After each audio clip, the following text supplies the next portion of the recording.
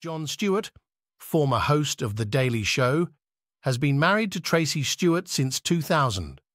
The couple's relationship began with a blind date in 1995, arranged by a mutual friend.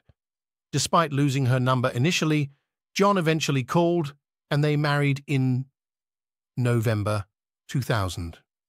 Tracey, a former veterinary technician, shares Jon's passion for animals, leading to their ownership of a farm in New Jersey, serving as a sanctuary for rescued animals.